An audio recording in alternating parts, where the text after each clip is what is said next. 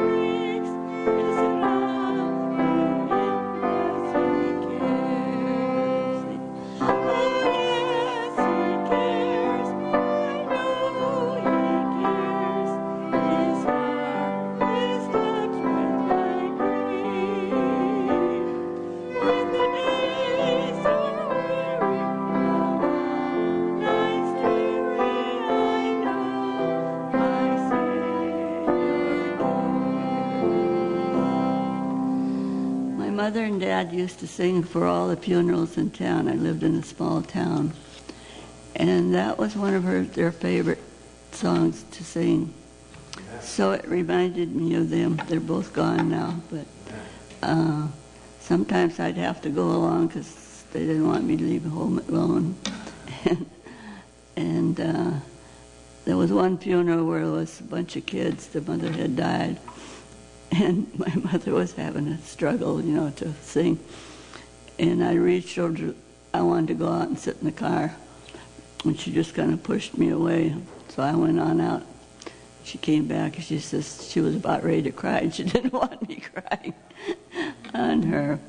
So that's a little memory of my growing up. Let's turn to 183. I will sing of Jesus' love.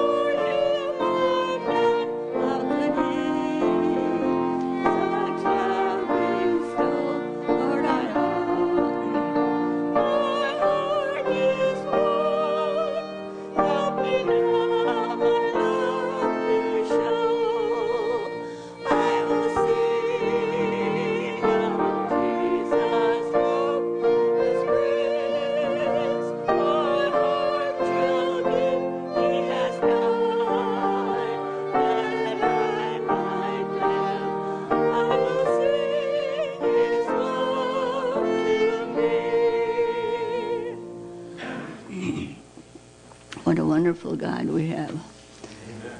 He's always there for us no matter what trials we're going through. If anybody else forsakes us, he won't. Turn to 192 of Shepherd Divine.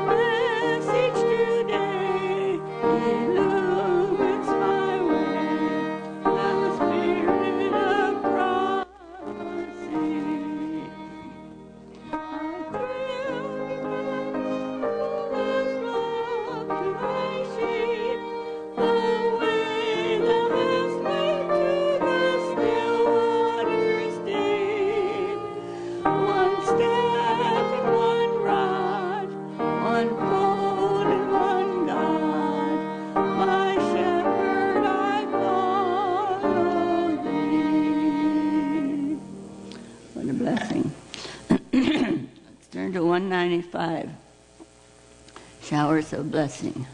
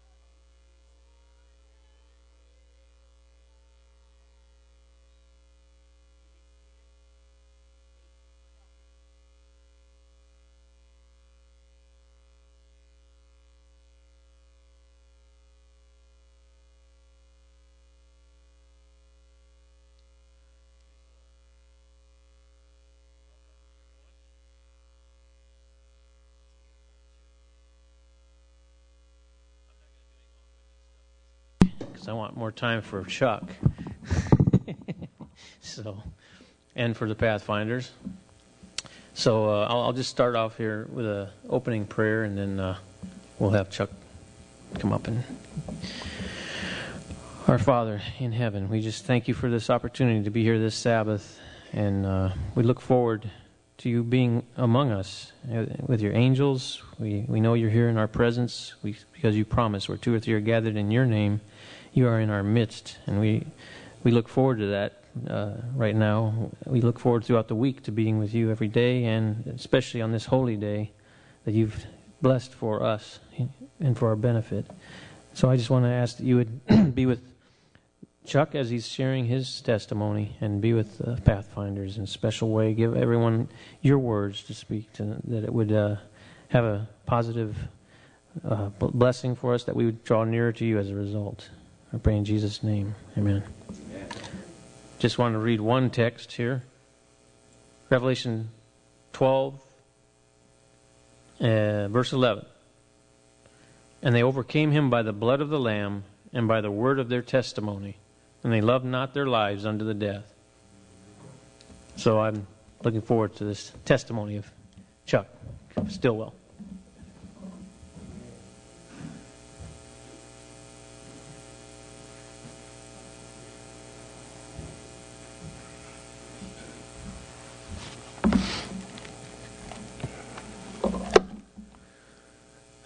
Good morning, brothers and sisters. Good morning. Happy Sabbath. And uh, I am so pleased that so many of you are here today. Uh, I can't even tell you how much um, um, your fellowship and your love to me this past year. Uh, I've been with the church for a little over a year now, and um, it just means a lot to me. Um, the moment I walked into this church, I knew that the love of God was here, dwelling in your hearts.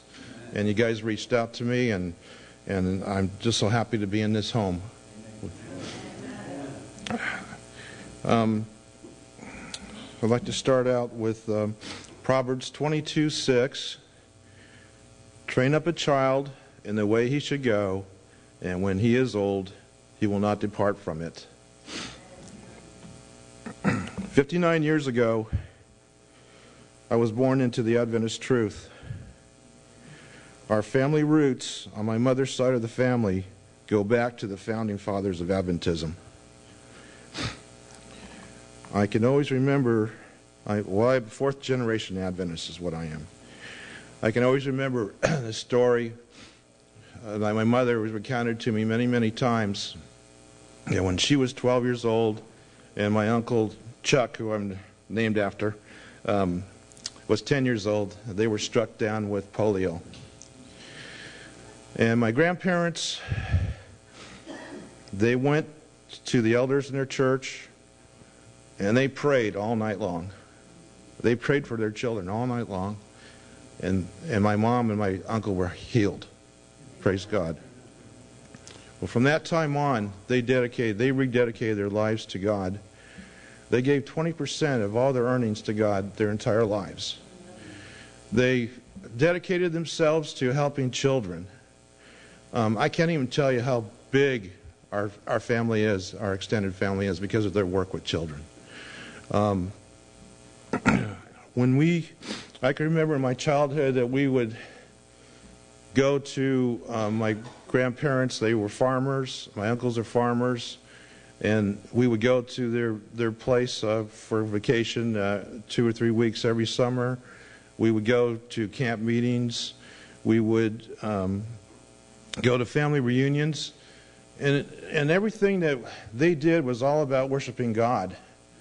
And it was all about their testimonies. In fact, our family reunions would, would fill up a church, and it would be about what God had done in their lives. Everyone in our families would get up and tell, what, tell us stories about what God has done in their lives.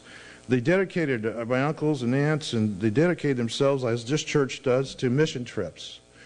And so their whole lives were entirely about worshiping God and what the great things He had done for them.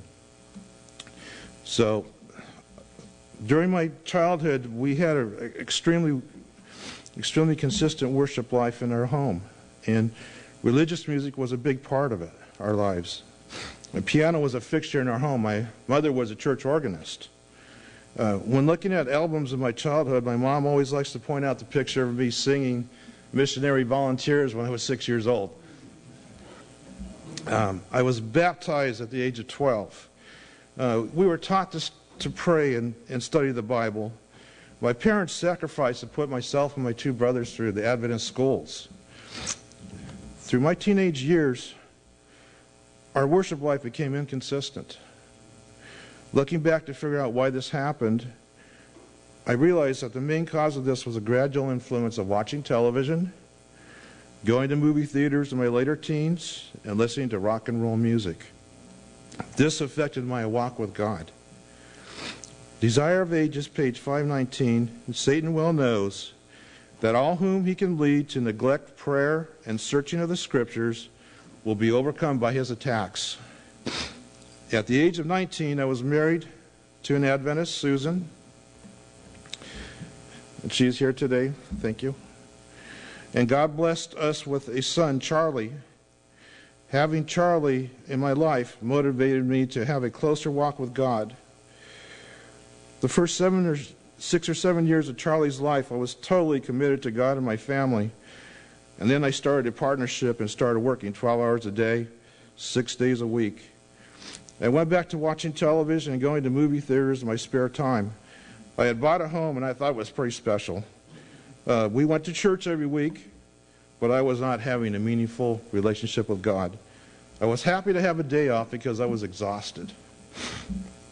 By the time Charlie turned 12 years old, work had become more important to me than my relationship with God and my family. My neglect of prayer and Bible study had caused this. I left my wife and eventually stopped going to church. Satan made sure that he put a woman in my life that led me further from God. Four years later, I was given an ultimatum to choose her or my son. I did not hesitate to choose Charlie, but because of my bad choices and lack of proper guidance, Charlie was already heading down the horrible path of drug addiction, which would last the next 15 years. Years later, when I heard Charlie tell me that he had no hope of changing his life, and it didn't matter to him whether he lived or died. The guilt and the sorrow I felt for my son was unbearable. Matthew 7 19 through 21. Do not lay up yourselves treasures on earth, where moth and rust destroy, and where thieves break in and steal, but lay up yourselves treasure in heaven. For where your heart is, there your heart will be also. If I had only pointed Charlie back to God at that time, but I was working seven days a week, and I had no time for God or my son. In 1993, I started a successful flooring business. My business continued to grow for the next 15 years. My heart was with the treasures of this world. The year 2006, God tried to wake me up out of my spiritual sleep. One day at work, I felt a terrible pain in my chest, and I thought I was having a heart attack and called 911. By the grace of God, I did not have a heart attack and had two stents installed by angiogram. Also during this time, Charlie had given his heart to Jesus. I was thrilled, but because of his past, I had a hard time believing it was for real. Business was booming, and again, I was too busy, busy for God. Charlie made it his mission in life to bring me back to Jesus. For the next three years, he would call me almost every day trying to persuade me to give my heart to Jesus. I know that I caused him a lot of frustration. Over time, the thing that really caught my attention was the changes that God made in his life. Uh, I supported him in everything that he was doing. We were developing a relationship that brought a lot of joy to my heart. His life had turned from darkness to light. And he was sharing this to anyone who would listen, especially me.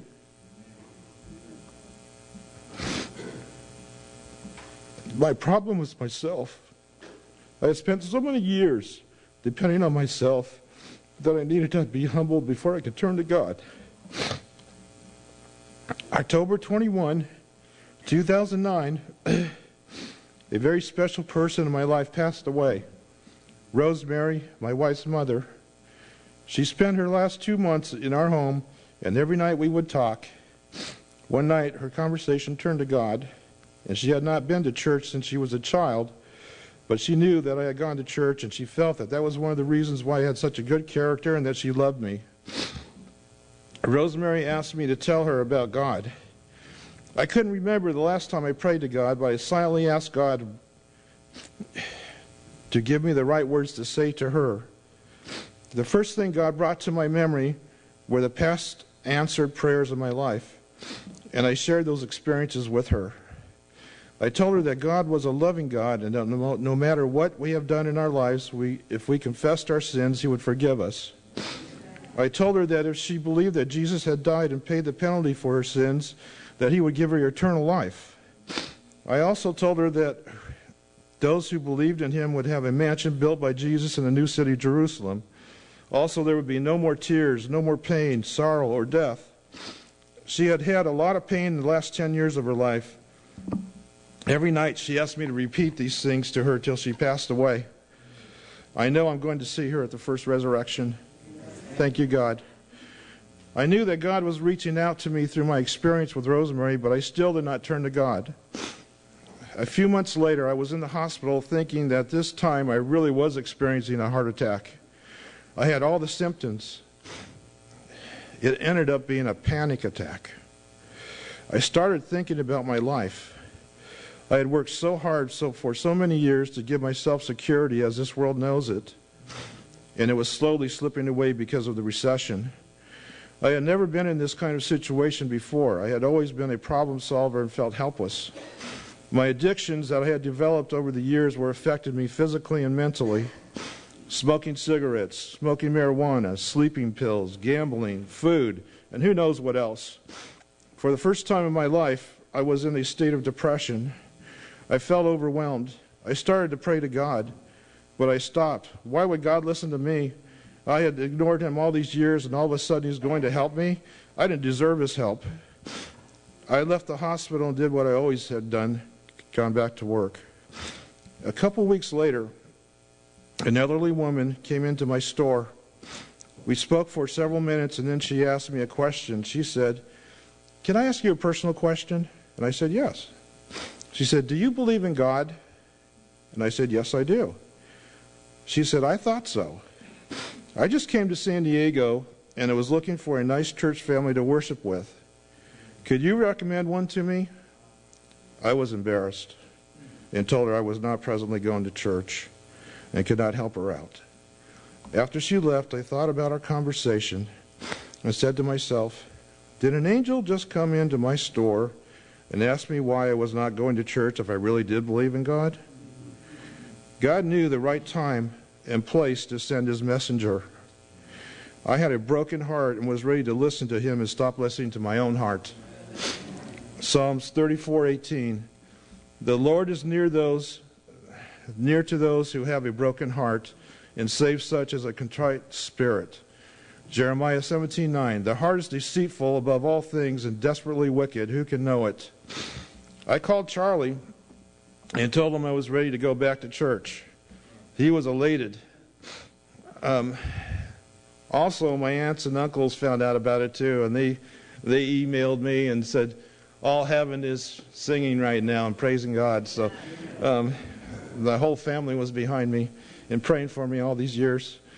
Um, so we went to church together the next Sabbath for the first time in over 25 years. The first song that they played was I Surrender All. And my heart was broken, and I had to run to the bathroom. I was crying and asked God to, to forgive me and have mercy on me. For several months after, every time I hear, heard a gospel song from my childhood, it would bring tears. Music makes me very emotional, so if you see me singing and crying, you know why. Mark 11:24 Whatever things you ask when you pray, believe that you receive them and you will have them. I say again, whatever things you ask when you pray, believe that you receive them and you will have them. I experienced the power of God through this promise. I earnestly asked God to take away my addictions. I started with cigarettes, a two to three pack a day habit. One evening, I asked God to take away the desire, and from the time I asked to this day, I've never had any desire to smoke again. That was the way I approached all my addictions. I prayed, I believed, and God did it. What an amazing God we have to help a wretched sinner like myself. Because of these answered prayers, wonderful things happened in my life. My anxiety and depression left me. I felt a peace of mind for the first time in my life. Philippians 4 4 through 7. Rejoice in the Lord always. Again, I say, rejoice. Be anxious for nothing, but in everything by prayer and supplication with thanksgiving, let your requests be known to God. And the peace of God, which surpasses all understanding, will guard your hearts, hearts and minds through Christ Jesus. When I gave my heart to God, that was when my real trial started. The first thing my wife Cindy told me was, if I had known you were going to be doing this, I would have never married you. Um, Nicholas, my son, has been getting mixed messages at home about what is right and what is wrong. But I do know that Nicholas loves Jesus, and his life is so much better because of that. A couple weeks ago, he was learning the Ten Commandments, and after he learned them, he confided to me that he had prayed to God to help him. I can't thank my church family enough for the love and support with Nicholas, especially Kathy and Jim. I don't want to forget Jim. Thank you, Jim. Everything that I thought was important in life is in danger of being removed from my life, but I no longer worry about these things because I have put all my trust in God. In the past two years, I have learned to continue in the Word, continue in prayer, and continue in His love. I learned this last Tuesday. My wife has stage four liver cancer and has less than a year to live. Please pray for her that she will give her heart to Jesus. I pray every day that God will give me the right words to speak to her. Romans 8, 38 and 39. For I am persuaded that neither death, nor life, nor angels, nor principalities, nor powers, nor things present, nor things to come, nor height, nor depth, nor any other creature shall be able to separate us from the love of God, which is in Christ Jesus our Lord. After taking my son Charlie, who was a down and out drug addict, and making him into a Bible worker and a youth pastor and the communications director for his church, and all the miracles of God has performed and has continued to perform in my life, nothing can separate me from the love of God. Amen. Proverbs 22 6 Train up a child in the way that he should go, and when he is old, he will not depart from it. Thank you, Lord Jesus, for your love and mercy to me and for forgiving my sins.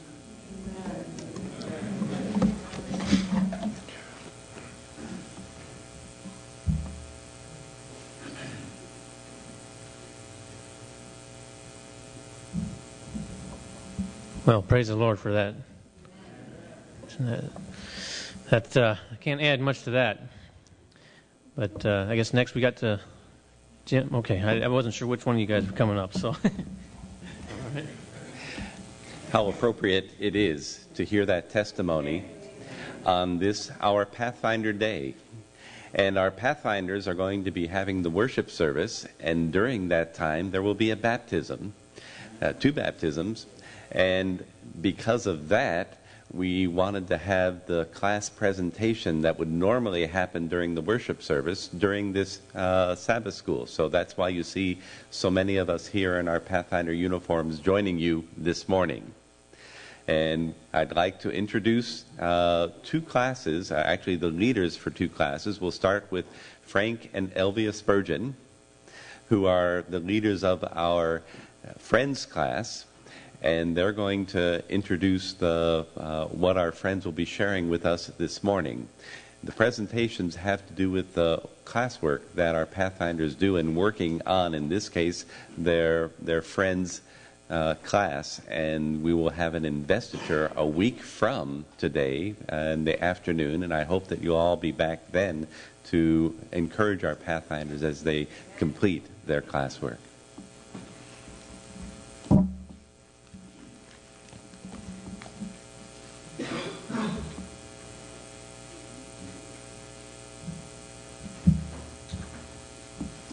Good morning and happy Sabbath. I can just say, what a powerful testimony. Amen. You know, it just shows us train up a child in the way he should go. And uh, I've been wearing this uniform for 25 years. And working with friends has been awesome. Today, I want to bring up Josh and Isla. They are my friends. We've been working, our Pathfinder says, a servant of God and a friend to man. And our job is to train these children in which way to go. But I want to say that pathfindering is camping, fun things, what we do. That's the physical part of Pathfinders. But our ultimate goal is to train up these children to lead them to the cross. Amen. And in their spiritual training, they have learned through the book many things, uh, tying knots. And, and in spiritual, it ties it together that they have learned the books of the Old Testament in the Bible. And today they're going to recite them. They know them from memory, but I have them a sheet in front of them for in case they get stuck. You know how it goes when you get up here. Even for me, you get a little nervous, but what an awesome thing to do. And thank you for your testimony. Amen. I'm going to move the microphone a little bit over, and Josh and I are going to do the recital, and my wife Elvie also helps me in the class. I'll put the, I'll lower that down for you. Right there.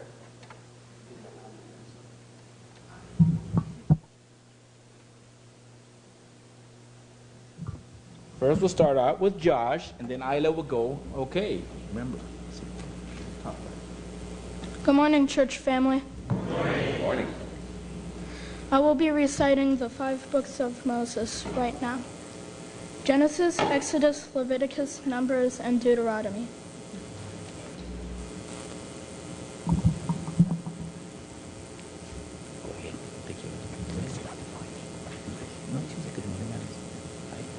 Good morning. My name is Isla. I will be um, reciting the 12 books of history.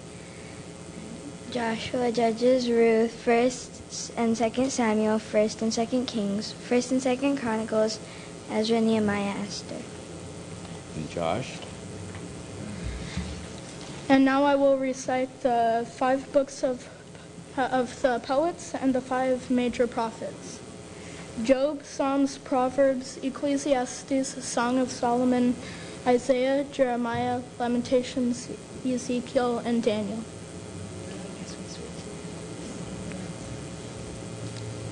I will now be reciting the 12 minor prophets. Hosea, Joel, Amos, Obadiah, Jonah, Micah, Nahum, Habakkuk, Zephaniah, Haggai, Zechariah, Malachi. And I would also like to add that Uncle Mo Streeter, he's not here with us today, but he's been a great part in also helping these Pathfinders move forward. So we'd like to give that, bring up his name. And thank you very much. Now we're going to have the next class come up.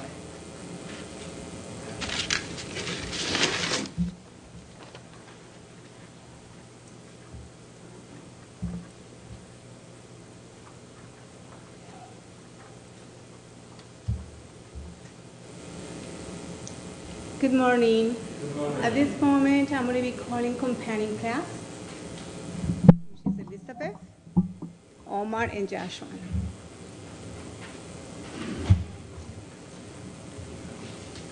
And they've been learning the books of the Bible of the New Testament. I just want to say that it is really true about instructing our children in the way that they should go, which is the best way. Because you know, what profit a man if he gains the whole world, right? Like the Bible says. But if he loses his soul, then it's nothing. So with the children here, as they're going to recite the Bible, uh, the books of the Bible, I just want to say that we've been through so much this year. Uh, sickness and everything, I haven't been there all the time, but I know that they love the Lord, and I just want to say that especially Omar. I'm really proud of him uh, because he was really lacking at the beginning. He was not so sure. But then later on, he was motivated. And I know that he has been working hard as well. Elizabeth, too, and Josh, he's a very committed boy. He, I know that they're going to do a very good job.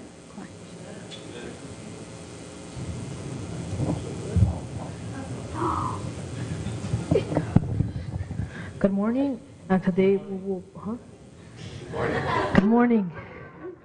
today we'll be doing the um, the Old Testament. I mean the New Testament. Uh, I don't even have my game today. Anyways, Matthew, Mark, Luke, John, Acts, Romans, First and Second Corinthians, Galatians, Ephesians, Philippians, Colossians, First and Second Thessalonians, First and Second Timothy, Titus, Hebrews, James, First and Second Peter, First and Second, Third John, Jude, Revelation.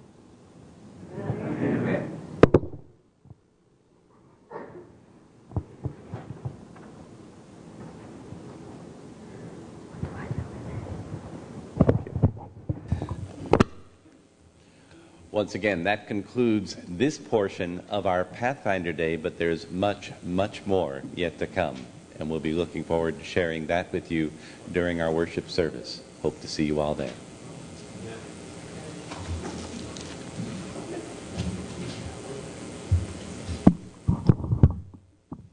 Thank you for that.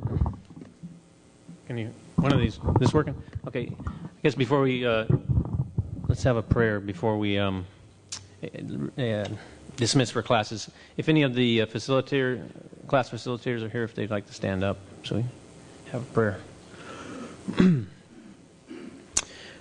Our Father, thank you so much for this opportunity to listen to the testimony of your servant Chuck and the, these uh, the work that's being done here for the Pathfinders. We just ask now that uh, you would go with us the rest of this day, be with us in the classes, help our inspire our minds with your Holy Spirit to learn from you this morning things that can encourage us in our walk with you and in witnessing to others as we've been studying this quarter. We ask your help in that in Jesus' name. Amen. Amen. You're dismissed to the classes. There's classes here and in the other building as well. For visitors, the pastor has a class here.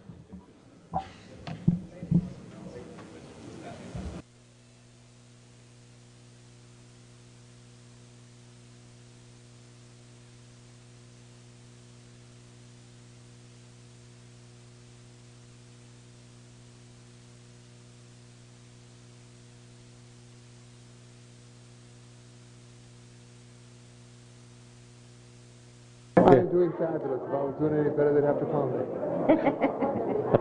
How's that? I hear you.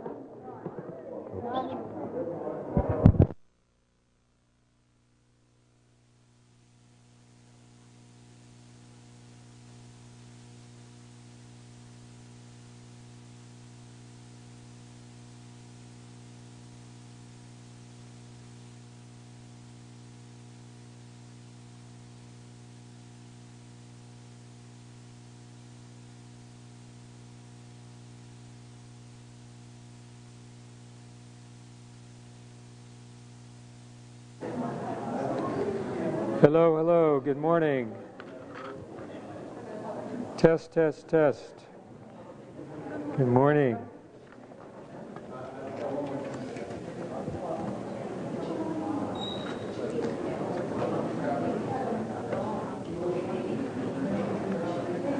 Okay, Albert, how are you doing today? Happy Sabbath to you, brother. Happy Sabbath to you too. I'm going to get on mic here in a second. Okay, there's one right there. No, I have. I have. Oh, you've got that.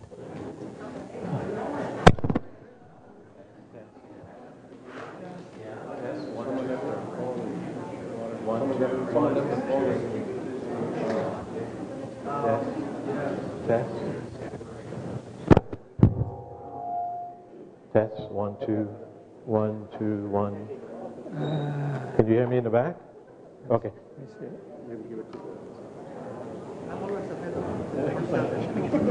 Can you do me a favor? Morning. Can you figure out whose phone that is? Oh. Usually there's a personal. Personal. Right.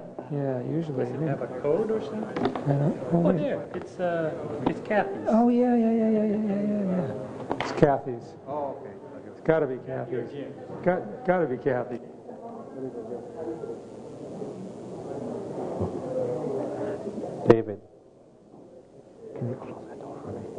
you close the door for me?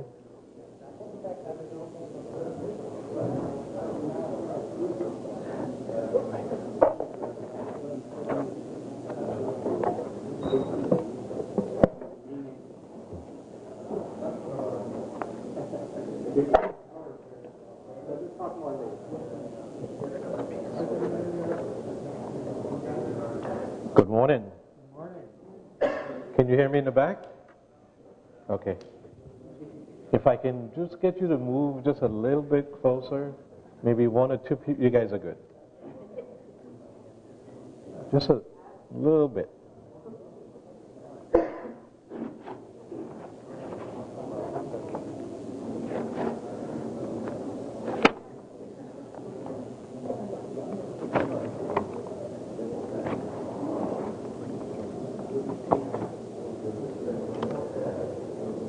I was uh, at my desk yesterday, and we had some new students, and uh, one of the students said to me, Are you an Adventist? And taking my cue from lawyers and politicians, I reflected the question, and I said, instead of answering the question, I said, Why do you ask that question? And she pointed to a jar I have on my desk where I keep goodies, and it says Adventist Help. So she said, I grew up as an Adventist, so I, I know those things when I see it. And then I said, Yeah, I'm an Adventist. So I said, We'll talk again. And I saw a student with a Bible in his hand and asked him some questions. And I saw another student with a Bible in his hand and asked him some questions too. So there's awareness of some things going on. So, um, you know, just I think the Lord sends us to places where where He wants us to go. Amen. Amen. What lesson are we on? Okay, I'll give you before you answer. I'll give you a hint. It's not 17 and it's not 19. Whoa, that's hard. So we're in lesson number, that's right, 18. And we're talking about the signs so we could know that the church is true. Okay? So let's pray and we'll get started. Bow your heads with me. Heavenly Father, it's always, always good to call upon your holy name. It's always good to know from whence cometh our help. It's always good to know from whence cometh our salvation.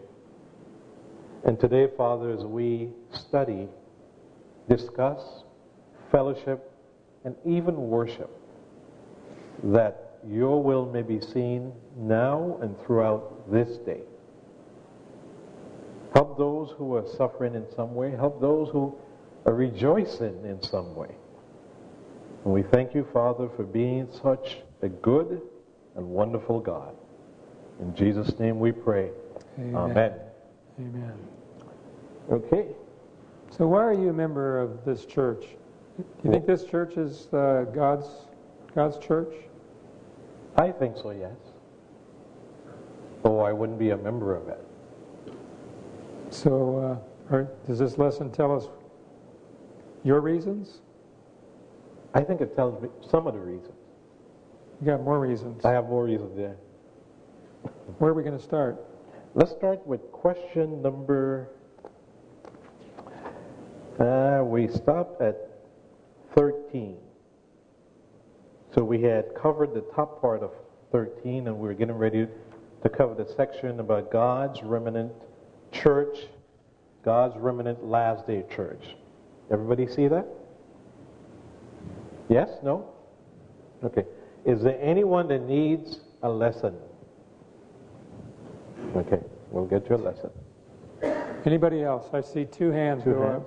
up. Okay. One more? Okay, three. Three. What is the symbol for recycle?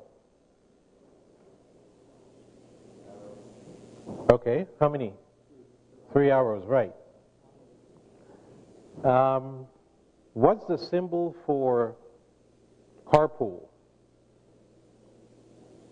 What kind of lane does it call it? Diamond, that's right. So all through our um, communities, they're symbols for things. So turn in your Bible to Revelation 12, 17. Revelation 12, 17.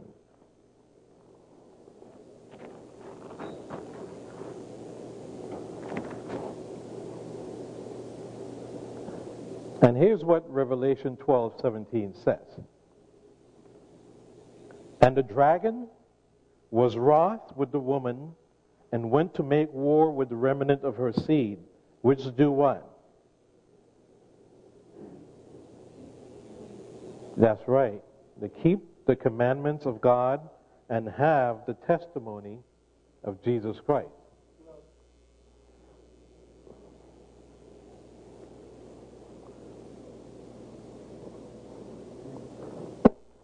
So in question number 13, it tells us what those symbols are.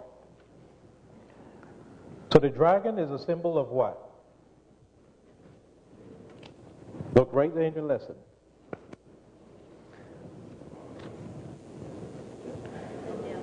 The devil. Do you know that in um, ancient Chinese culture, where they use symbols for words, that the word serpent is actually a dragon, hmm. which tells us that they knew the story of Adam and Eve. Okay, so the woman is symbolized as what? The tr- church, right. Now, there are a lot of different types of church, so I want to be a little specific. What type of church is a woman? What does it say? The true church, right. Can anybody tell me, this is by way of review, because I know I brought this up before, but where does the symbol of a woman as a church first seen in Scripture? No fair, you can't answer. Okay, where in the Bible is the first occasion where basically, where's what's the foundation of that symbolism? Where does it start? Where does it begin in Scripture? Genesis 3. Genesis 3, that's correct. Genesis 3. Somebody tell me what happens there. It's the story of the fall, right? Yeah. It's the story of the fall. Uh, Eve eats of the fruit. She takes it to Adam. He eats of the fruit. Right. And then what happens? Then they go and they find a tree, right? They're hiding. Where are they hiding? They hide it because their eyes are open and now they realize that they are naked and can understand different things. And who are they hiding from? They're hiding from God. So God, does God know where they are? Of course he does, right? But he still, you know, he starts asking them some questions. What have you done? You know, who told you you were naked? You know, things like that. Yeah. And um, then he, he, he, he tells the, the serpent something what does he tell the serpent? He tells the, the man that he's going to work. He tells a woman that she's going to, what? Childbirth is going to be different. Difficult, yeah. Difficult. And what does he tell the serpent? You got. We need to, yeah. Either get a mic or shout that out. Tess. Wonderful testimony this morning, Charles.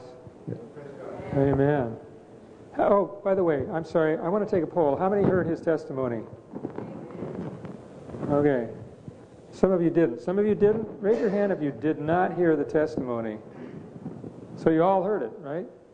Okay. Go ahead. And he tells the serpent that he will put enmity between his his seed and the seed of the woman. Right. Mm-hmm. And who is the seed of the woman? Jesus. It will. Huh? Yeah, basically, we are the seed of the woman, but the, he also focuses in on one particular individual, and who's that? Christ. On Christ, right.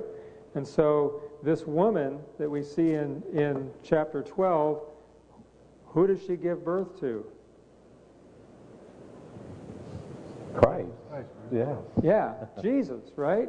So, so that symbolism that we see there is the, this, and, and the woman being the, the symbol of the church goes all the way back to the Genesis 3, where God shows that there's, as, as you point out, Doctor, we're also the seed. Christ is, in particular, in a unique and special way, he is the child of the woman.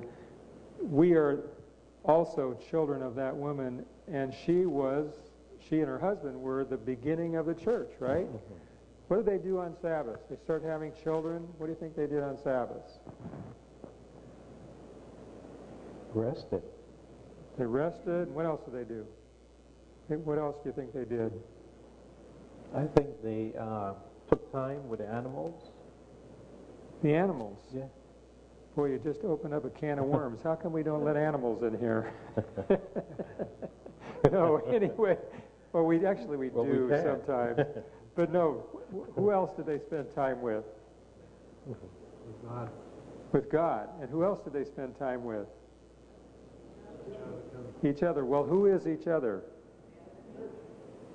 Huh? I heard it. But who is in the church? God, Adam, Eve, who else? Holy Spirit, angels, who else? Jesus. Huh? Their children are there. Their children are there, right?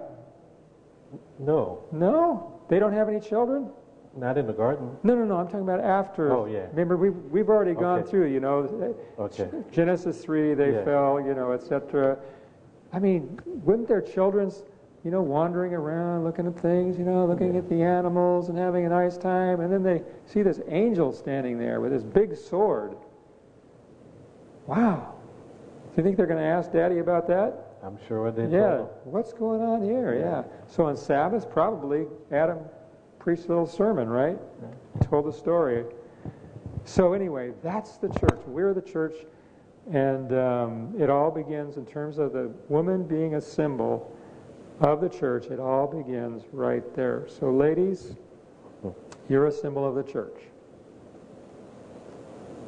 That's a good thing. You are a symbol of the the church. Ladies, you're a symbol of the church. Isn't that neat?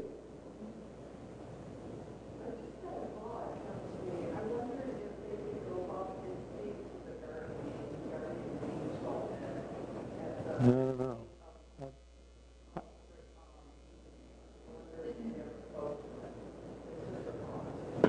That's an interesting. Okay, do you, yeah, do you, what do you think? Do you think they spoke, or did he just stand there like the guards, the, the British guards that stand there and don't say anything to anybody, or what, what do you think? You know, it's sanctified imagination. It doesn't matter. What do you think? Huh? I think he spoke to them. I think he would say, you know, um, thou cannot enter us or something, you know. Do you, do you think maybe the kids could go ask him things like Yeah. Abel could go up and say, "Hi, how you doing today? yeah. That sure looks pretty in there. What's that? What is that big tree over there? Oh, the tree of life. Oh yeah, my dad told me about that. Looks really nice. And maybe, uh, could you tell me what happened in there? Can you tell me what happened to mommy and daddy? Interesting. Never thought of that. yeah. I could see him interacting with me. Yeah. Hmm. Okay. So C, remnant. Remnant. So the word means last or end time. And then, of course, we know the commandments and the testimony of Jesus, which is the spirit of prophecy. Okay? Now look at the bottom. It says, let's read that verse. Remember, we read Revelation 12, 17. It says, let's read it. Let's put it together in today's language. And it would read something like this And the devil was infuriated with the true, true church and went to fight against God's church in the very last days, which keeps the Ten Commandments and have the gift of prophecy. Amen. Amen. All right, what two characteristics of God's last day remnant church are mentioned in Revelation 12 17? They, what? The commandments. They break the commandments, mm-hmm. ignore the commandments, avoid the commandments. Huh? They keep the commandments, and they don't have the gift of prophecy, right? Hmm. They have it. They do have it. Yeah. Yeah. All right.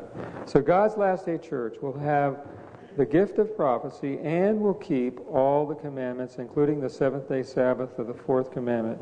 Jesus is still saying, quote, if you love me, keep my commandments. It's impossible to really love him and knowingly break his commandments. There are many true Christians, Christians in churches which do not keep the Sabbath or have the gift of prophecy. How true.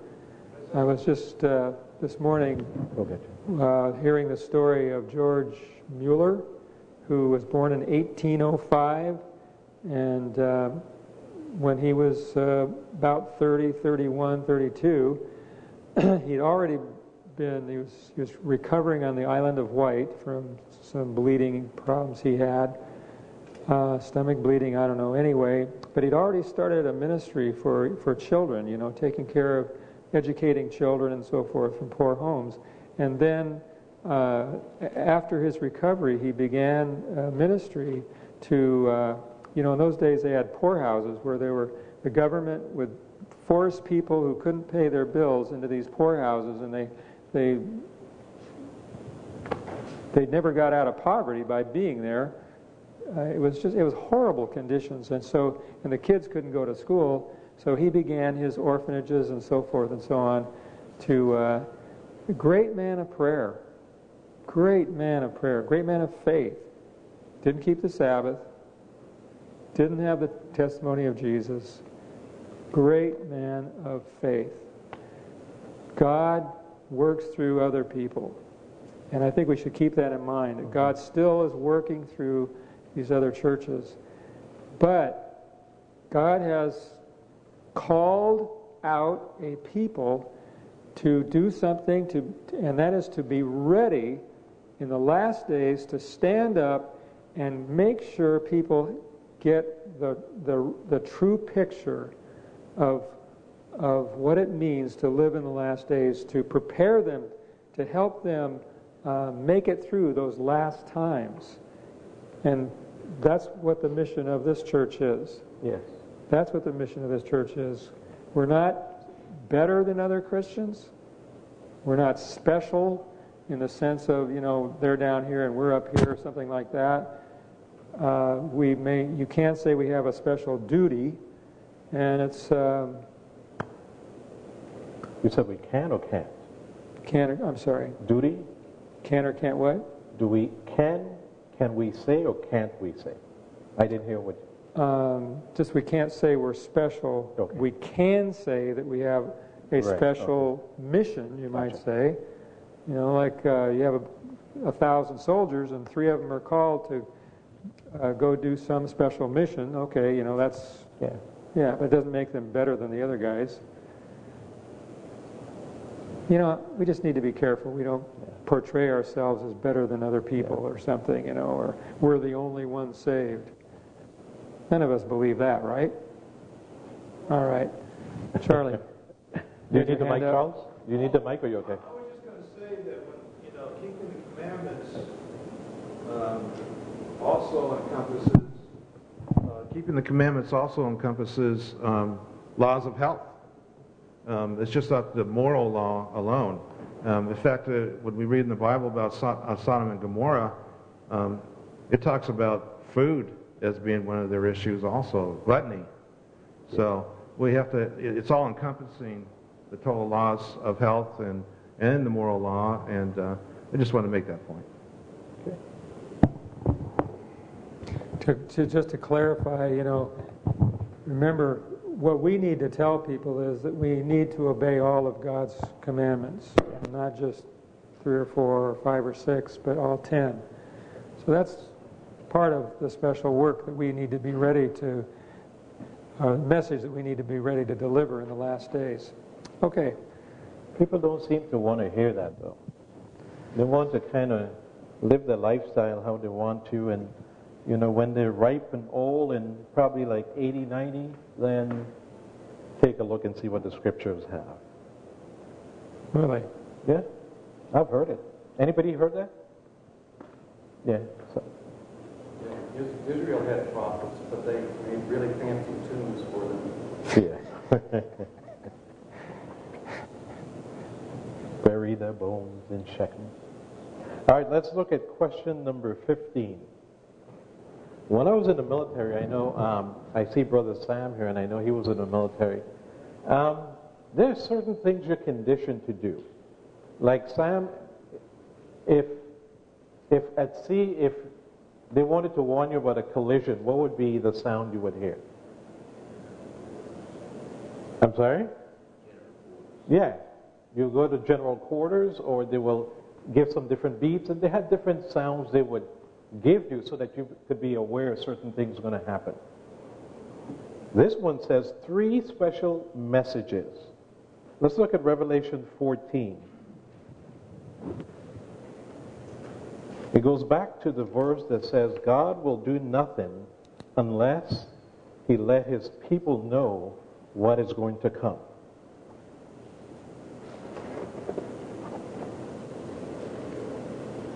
So, what are these messages? Let's begin at Revelation 16, 14 6. If somebody could read that for me. Yeah. And I saw another angel flying in the midst of the heaven, having the everlasting gospel to preach unto them that dwell on the earth, and to every nation and kindred and tongue and people. Okay, if you could go all the way through um, 10. saying with a loud voice, Fear God and give glory to him, for the hour of judgment is come, and worship him that made heaven and earth and the sea and the fountains of water. And there followed another angel saying, Babylon is fallen, is fallen, that great city, because she made all the nations drink of the wine of the wrath of her fornication. And the third angel followed them, saying with a loud voice, If any man should worship the beast and the image and receive his mark in his forehead or in his hand, the same shall drink the wine of the wrath of God, which is poured out without mixture into the cup of his indignation. And he shall be tormented with fire and brimstone in the presence of the holy angel and in the presence of the Lamb. All right. Thank you. So, what's going on here? What's being said? Let's look at the answers. Number one, it says the hour of God's what? Judgment is come. So worship him that made heaven and earth. That's the answer. Okay? Number two, Babylon is what? Fallen. So what do we need to do? What does it say? Come out of her, my people. Now, is that telling us to pack up everything and move to the hills? Huh? No. what is it telling us to do? What does this mean? So that when you read it, how do you know to come out of Babylon?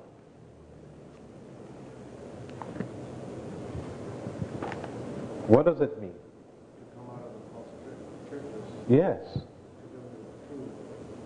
Come out of those systems, you know. Worship the true God. That's what it says. Remember, we read that in the first one. It says, It's fallen, come out of her, my people. God said we are to tarry until he comes. So we will be here, living, doing what we need to do, but not part of the system. And the last one, it says, Beware of the mark of his image. I'm sorry, beware of the beast and his image and his mark. God's true church for today will be presenting these three powerful messages worldwide. Many devout and local Christians are members of churches which do not teach these three point messages. However, such church churches cannot be God's church for today in which he is calling all his people because this true church must pre- must be preaching these three messages universally. So, so starting with the 1840s, right up until now, this church is about preaching these messages. We're re- even now calling people to come join, join in God's uh, true church, the church that keeps all His commandments, that's that has has these messages. Come out of her, my people. and uh, a message about the, the mark of the beast, you know, and so forth and so on. But again, I want to emphasize that we could get very discouraged by our numbers if we if we just look at that. We can say, well, you know, how effective are we being here in North America, for example? And often people do that. They, they'll say, well, you know, we go overseas or we go to this country and we have, you know, just people just coming in by the hundreds into the church. And it's true that it would be really great if we saw, you know, a great movement, a mass uh, of people coming in to God's remnant church. But even if we don't see that, the, the, the thing that God wants us to do is to, to be faithful and loyal to Him, to live uh, according to His Word, and to be preaching this message because either we or our children or our children's children who knows when just before Jesus comes, they are going to give this message and it's going to be extremely relevant at that time. You know, far more relevant. There are circumstances in the world are going to make the, this three part message here that you just went over, is going to make it the most important message that people will hear in the very last days. And there will be a great, um, you know, there will only be two sides it's going to come to the place where um, Satan has taken over the other churches. I'm, i hate to say those words, but anyway, that's what's going to happen. He's going to take over and he's going to manipulate things the way he wants it to go and to turn on the truth of God. And we're going to have to be ready not only to stand firm, but to know what it is we're supposed to be sharing. Right. And this is it right here. Amen. This is the last message to a dying world. Are you ready to share it? Are you ready to share it? All right, number six, uh, excuse me. Yes, 16. What other key point will God's true church for the last days stress? and they what? They overcame him. Let's see, wait a minute. They overcame by the blood of the Lamb. They overcame, they overcome Satan's accusations against them, his attacks against them, by the blood of the Lamb and the, the latter testimony. part of that, the next verse says, by the word of their testimony. testimony right. All right. God's church will make very clear that salvation and righteousness come by faith in Jesus Christ alone. All right. Um, God's church defined. According to Revelation chapter 12 and 14, the following seven great points identify God's church for today, into which he is calling all his people. I know what they are. You can't read them. No. The what? church, the true church has to have a steeple. It has to have Okay, I'm looking for a new. I'm looking for a new co-teacher. Can I tell you a story? Yes. There was a there was a fella. I don't really know what what his occupation was now, but in any case, he was. Uh, he had some kind of funny ideas. Okay. Okay. And. Um, but anyway, one of his funny ideas was that this church that was built and that I would just become the pastor of needed a steeple. and he kept pushing that. We need a steeple. We need a steeple. We need a steeple. And um, this isn't really a good story. It doesn't really have much of a point, but it just strikes me as funny anyway. And he, he so he um, kept pushing that, and I, I knew his work. Did he say why? Just it had to have a steeple. Every church. Well, see what they did is they they they built a church uh, out of one of these metal buildings, you know? Yeah. Yeah. And it, it looked like uh, a factory or something. It didn't look like a church, you know? so he was right, you know, it, it didn't really look like a church. Yeah. I used to tell people, well, the reason why it looks like that is because we manufacture Christians in there. we make, we make, all right, we make Christians in there. Okay. Anyway, so. Uh, the funny, another funny thing is they could have had a stucco out, stucco outside for just two thousand more dollars. They could have had it stuccoed, and it would have looked like a church. Yeah. Totally different, but they chose that metal siding. Okay, well, he thought it, it just had to have a steeple.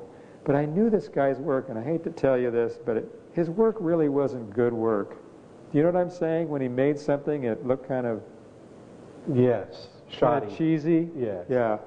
So, uh, So he was going to actually, so- he wanted to do it? Yeah, he wanted. Yeah, yeah, he was going to do it. So I kind of, you know, I just resisted. Anyway, you know how things go. They move pastors on.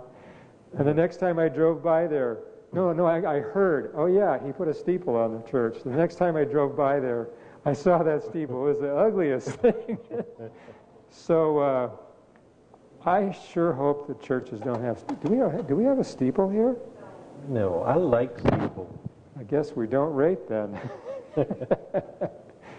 no, that's not the identification of a true church. I'm sorry. Okay. Break your heart, I know. What else? Did you have anything else you No, wanted? we'll go by the list. Should we go by this? Yes. Okay, well, actually, what I want to do is ask you to read the list to the class. What's number one? Sergio, would you read number one? Yes. Real loud, please. Look here at the wilderness, dark sorry, dark ages experience that is after 1798. All right, that's number one. Comes after the Dark Ages experience and after 1798. Okay, number two. David, how about you? Uh, will hold same truths and Okay, let's, as apostles' teaching will uh, Yeah, let's use them. Thank you. We'll hold same truth as apostles. Teaching will square with the Bible. Okay, thank you. It's going to line up with the, with the teaching of the apostles, which we find in Scripture. Charlie, how about number three? You don't have it. You don't have it. okay. Okay. And you guys have it?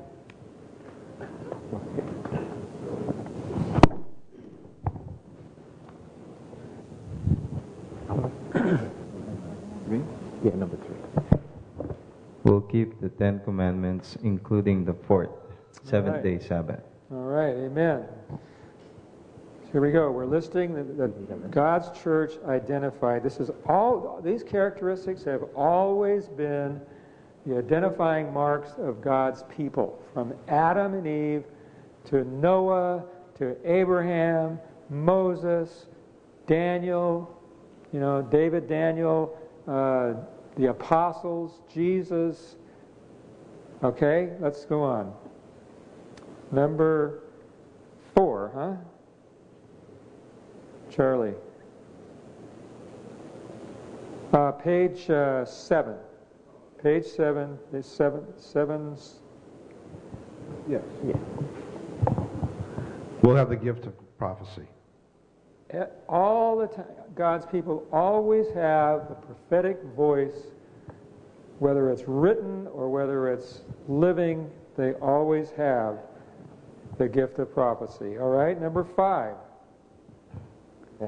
Who's going to read that?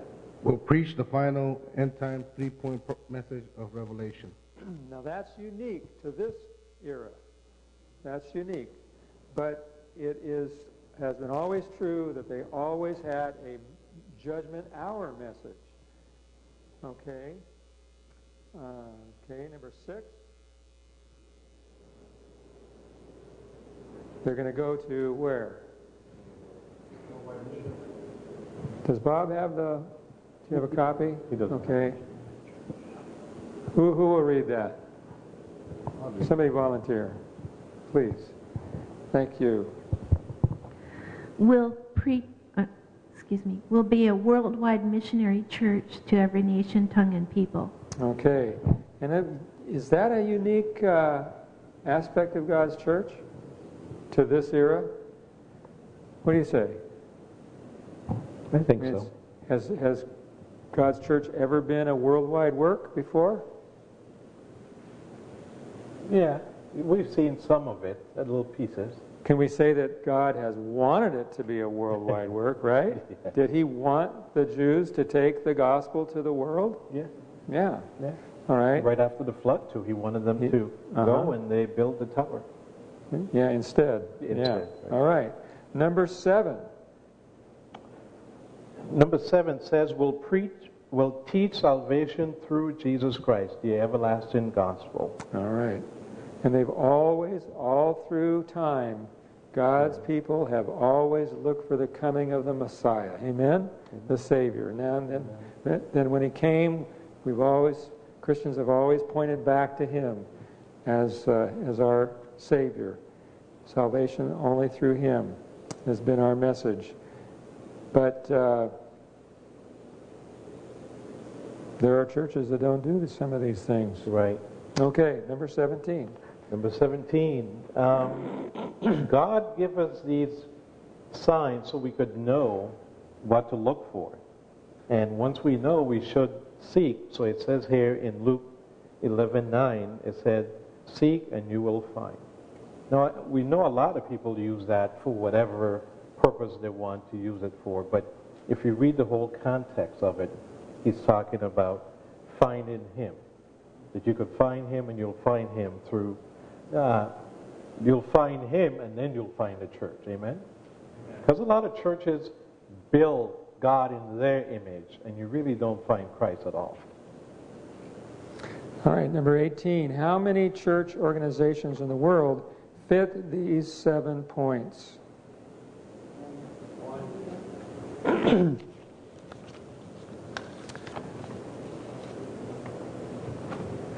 Okay, so the answer is one.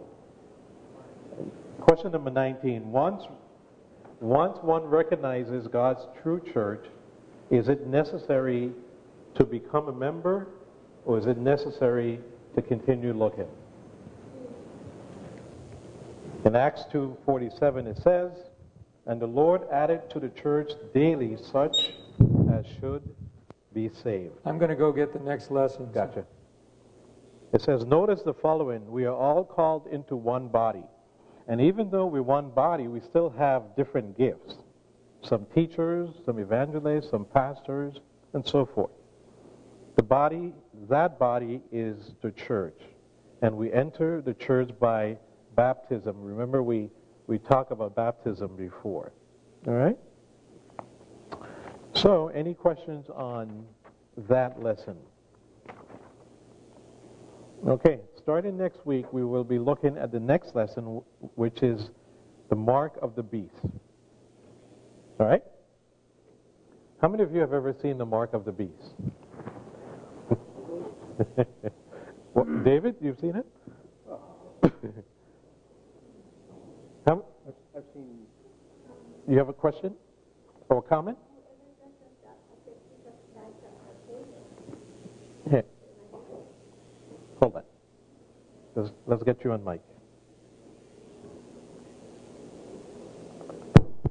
All right, there you go. Well, I think it's necessary to accept Jesus Christ. Uh-huh. Otherwise, we're in a very terrible danger. And uh, maybe that can be the mark of the beast. So you're saying, uh, let me see, if, let me paraphrase and see if I understand what you're saying. You're saying if someone doesn't accept Jesus Christ, they will have the mark of the beast. That's not what you're saying. They're in danger. Okay. All right. Good. That's a good place to stop today. So we will continue on that point next week when we look at the mark of the beast. So bring what you know, bring what you've studied, and we'll continue, okay? Could you dismiss us? All right, we're going to dismiss. Father in heaven, thank you so much for bringing us here today. Thank you for opening your words to us, um, giving us um, lessons that aren't clear, becoming clearer. Uh, may these um, verses and lessons guide us into the right path. Forgive our sins, Lord, and may we have a blessed day the rest of the day and keep the Sabbath. In Jesus' name we pray. Amen. Amen.